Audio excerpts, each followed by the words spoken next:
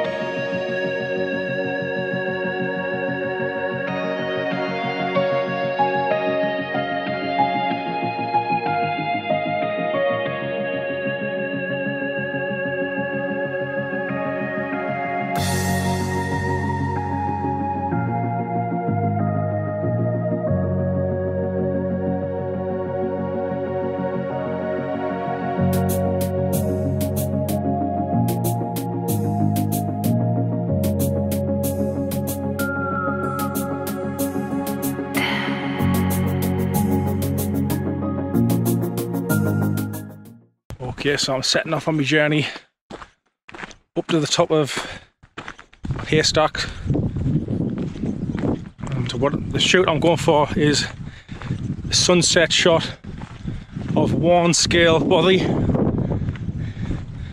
And that's going to be my foreground, looking down towards this, down the valley towards Buttermere.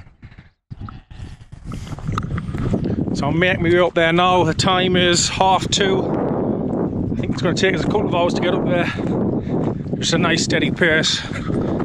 Not trying to do any records. Just a nice stroll up to the top. I'll have a coffee break on the way up and just enjoy this beautiful scenery. Okay, so I'll put up a map now of the route I'm taking up to the top towards uh, Warnscale Bothy. So I'll put that up now, take a look.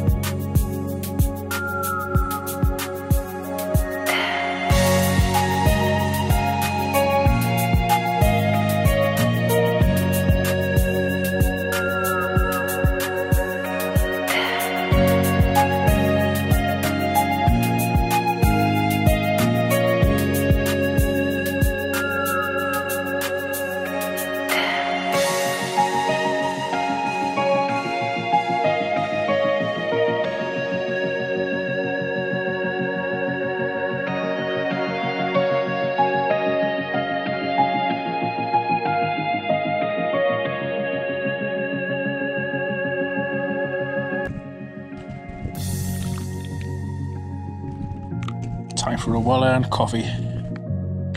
And I only went and forgot my milk, didn't I? I mean, can you get a better view to sit and have a cup of coffee?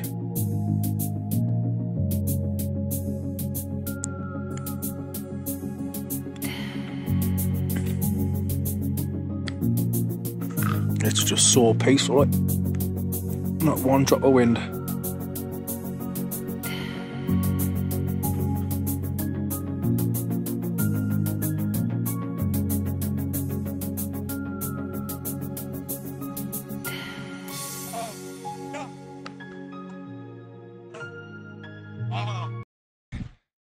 And there is the bothy. Just nestled in at the side of the mountain.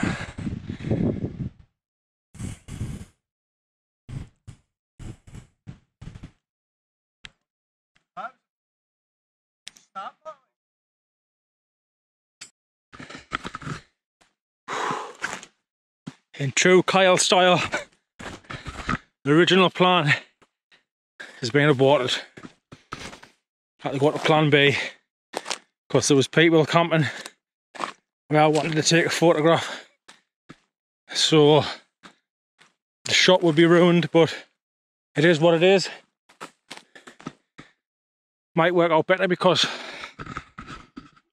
I think to get a good shot of that bothy in with the sunset, like you need to be at the beginning of the beginning of the year. So you're looking at May, like the beginning of the summer season sort of thing. So looking like April or May. So the sun sets a bit further north. I think it is. So what I'm going to do is head to the top of Haystacks. Got another shot in mind. Might work out better.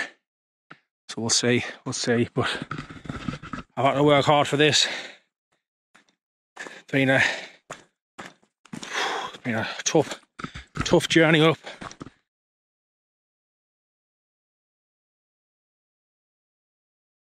Can you hear that? Neither can I. Complete silence.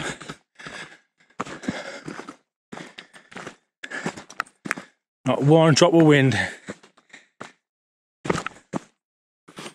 Getting into the golden hour now. Heading to plan B. Haystacks.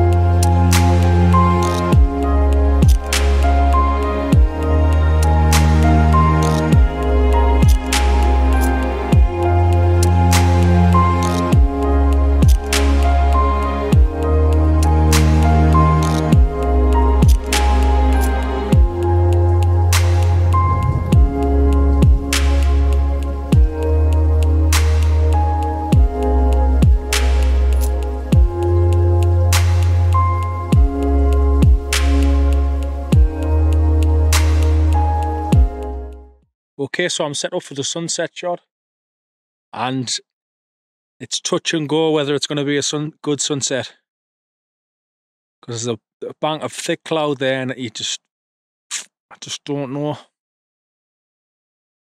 But we can live in hope. So this is the composition. Okay, so camera settings I'm on at the moment. I'm on f11, ISO 100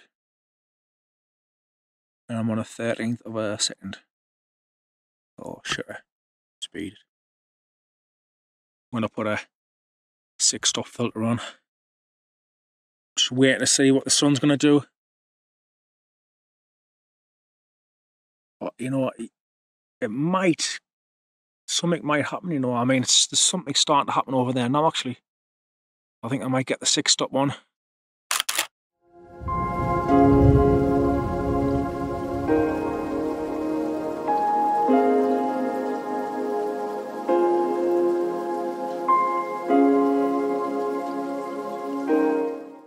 So it's been good to get out on a hike again.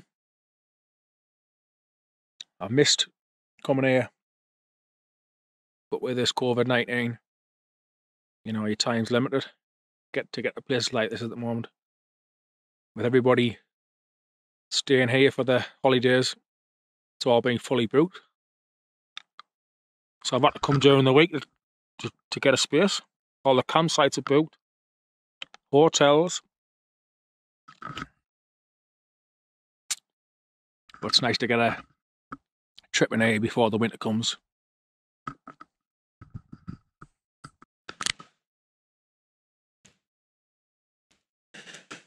So eventually getting back to the campsite, lit the barbecue, and I've been waiting all day for one of these.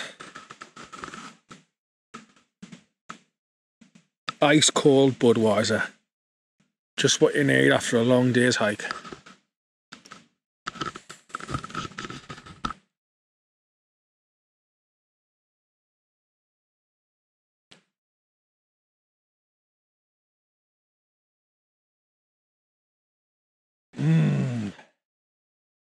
Beautiful.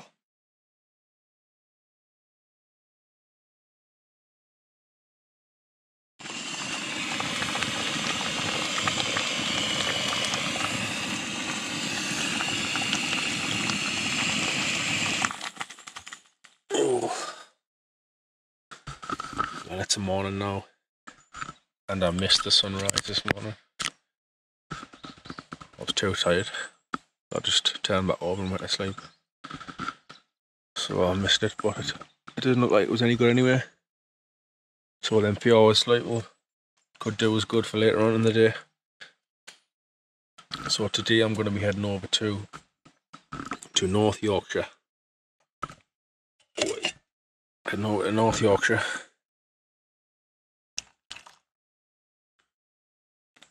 and I'm having porridge and a cup of tea for breakfast.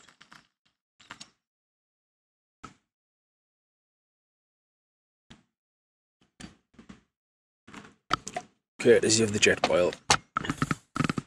So I'm heading to northwest Yorkshire now, leaving the Lake District. I'm heading to Ribblehead Viaduct for a day, spend a day there, try and find the lone tree. I've just been thinking to myself, uh, I haven't really getting any decent photos, but I enjoy the experience, and I think that's what you got to do. You know, you've got to just get out there, enjoy the experience first, and if the photos come, it's a bonus. No point in being downbeat. You haven't got any good photos. You know, you've got to, you've, you've had a big hike up to the mountain. You've got to enjoy that experience first and foremost. And if you get the photos, it's a bonus. Then take the So I'm just been a little reflect there on the day yesterday. There might be one, one or two all right snaps, but we'll see when I get back home and have a look. But I haven't even looked through them yet. That's how much confidence I've got in them. so yeah, I'm on my way now. It should take about an hour and a half to get there. I'll see you when I get there.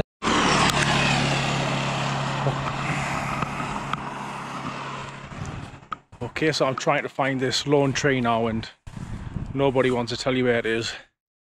It's a very, very secretive tree, apparently. I'm gonna have to just try and find it myself. No, I don't know why people are like that. So if I do find it, I'll let you know exactly how you how you find it. But I've parked here the right hand side of the road. Got your viaduct over there. I'm hopefully going to be on the right track.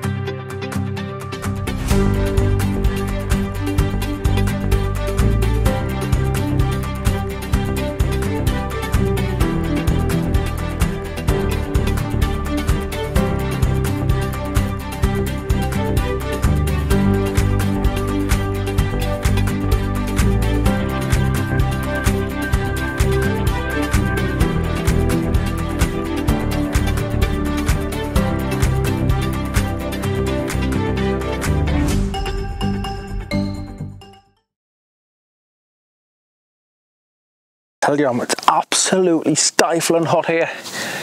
You wouldn't think it was September. Okay, so I've gotten the first couple of shots in the bag there. What I was doing there was just started off an F11 and I put the 10 stop filter on. It was only giving us a four second exposure. I tried this, tried 16 stops of light. It was too dark. So what I've done now is I've just went to F16 to try and give us a longer shutter speed, and it's given us a shutter speed now of um, of eight seconds. So I'll just fire one off when you come to a location like this, don't just shoot one shot in one angle. Take a few different ones because you might get home and you might not like it, you know. So get a few different angles. Try some lower, lower angles. Try a higher angle. You know, get your tripod right up. Flown over the top.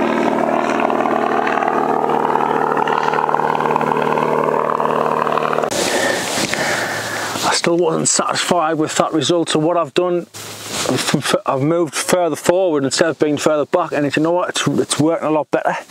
It's really emphasising the tree. It's just making the tree look like you know. It's, it's it is the main subject of the photo. So you're not getting any of the viaduct in this way. But you know what? I think this tree makes a picture on its own. I don't think it needs a viaduct.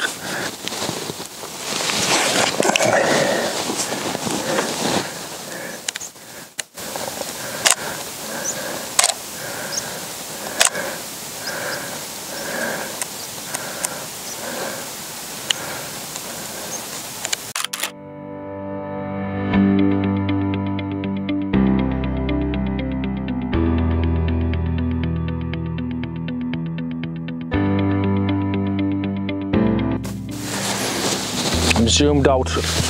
I'm all the way out at 16 millimeters. I'm just trying some different focal lengths at the moment. The sun's just gone in, so it's just, yeah.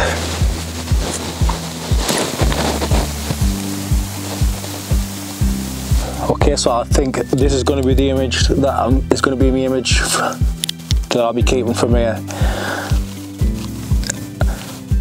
took a while to, to salt the angles, but I definitely think coming in a bit closer, missing all that out, it just makes the tree look very proud in the image. Coming from a low angle. And yes, I think i am satisfied with what I've getting there.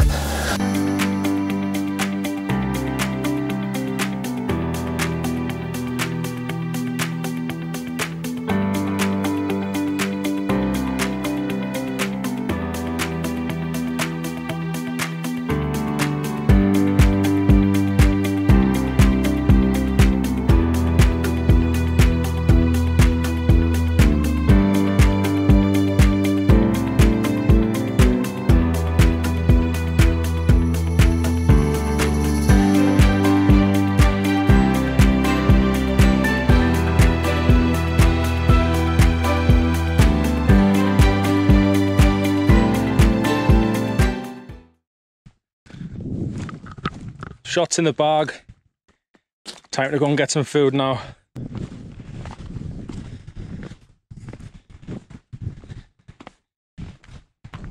There's a landmark for you. barn. If you see a barn from the roadside, actually, you know, it's pretty straightforward, really. I went the hard way as usual, as usual. So it's literally straight up a, bridle path. So you just, obviously you just jump over that gate at the bottom. So for parking the car, I would still park in the same spot what I said and just walk along the road until you reach this fence here. This is where you want to be jumping over here. There's a reference for you there, that wall there at the side of the gate. Look for that just right at the roadside. There's a sign here for Colt Park. 31 degrees.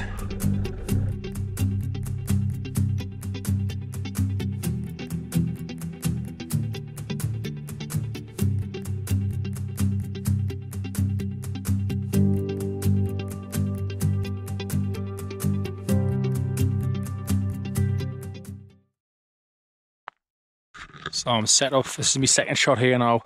I was up there in my first shot, got the classic shot from up on the bank.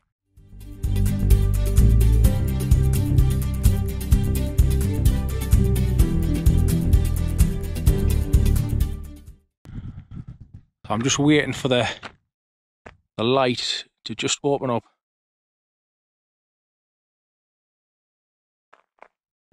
But it's a fantastic location here. Okay, so that's it for the trip now. I'm gonna head home and I've got to go to work tomorrow. Up bright and early. So I'll put up the images now of what I've taken down here at this viaduct today. So I'll see you next time on another trip, wherever that may be. Who knows? See you next time.